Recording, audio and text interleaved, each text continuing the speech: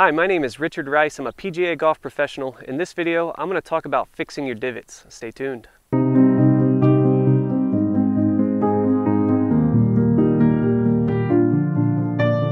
Okay, so your term of the day is angle of attack. An angle of attack is basically describing the angle that the club comes down into the ground or into the back of the ball. So we could have steep angles of attack and we could have shallow angles of attack. Um, what I see on a day-to-day basis in golf lessons is that many players out there have this very steep angle of attack. They're taking these deep, gougy divots, and it's coming from some some errors that they're making in the backswing, sometimes in the downswing. So today, if this sounds like you, you're taking those steep and gougy divots, or if not, you're standing up out of the shot to avoid taking that divot and you start topping it quite a bit. Listen in, this is going to be for you. So again, it's all about angle of attack. We're trying to figure out why your divots are steep and gougy. And really what it boils down to most times is spine tilt, right? So we, we set into our dress position with this certain amount of tilt in our spine away from the target. And many of you lose that tilt and you begin tilting your spine towards the target. Well, you can see if I exaggerate that, how that's going to force me to swing more straight down into the ground. So now all of a sudden, my hips are trying to catch up, but they don't get there in time, and my club's coming steeply down into the ground, so I'm taking these deep divots. So we want to talk about how to maintain that proper spine tilt in the backswing and into the downswing.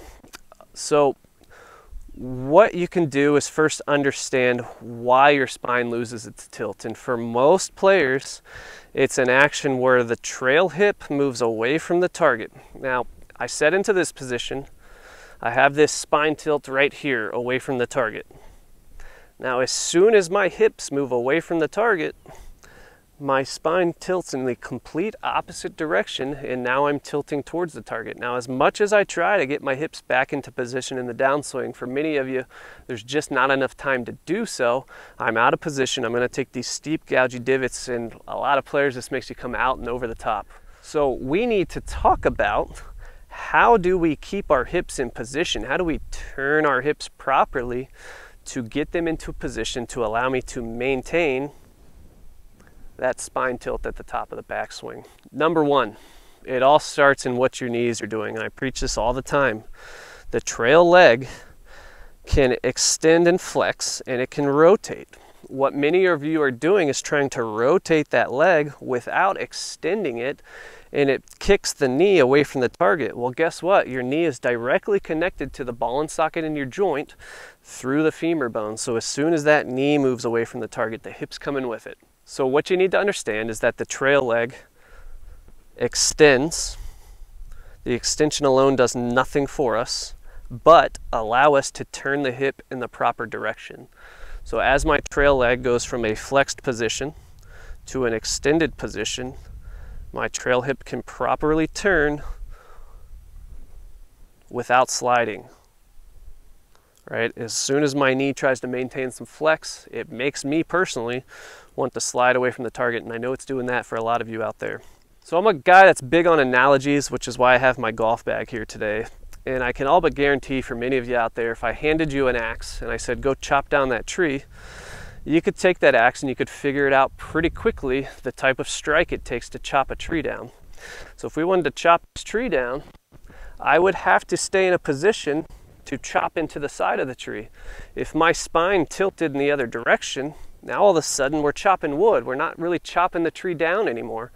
So if you feel like you're the type of person that's chopping wood, again, we're trying to get into this position where if I'm cutting this tree down, I feel like I can still swing down into the back side of the tree and chop through versus kicking the hip back, letting the head come forward. Now all of a sudden I'm chopping wood, I'm swinging straight down into the ground. So I want you to practice that analogy. Find some sort of obstacle you can use to practice keeping two things. You're gonna keep the hip turning back and you're keeping the head back a little bit to allow yourself to maintain that tilted position. And then you can come over and apply that to some golf shots. So we're gonna try to hit this shot out toward the green here. So my big focus is making it feel like I'm chopping that tree down. I'm not losing my spine tilt away from the target.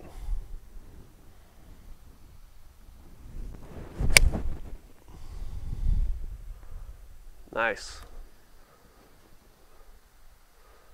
So just up the left side of the green, should be putting there.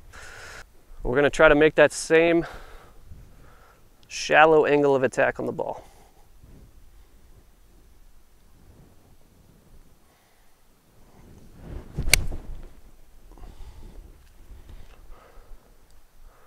Good.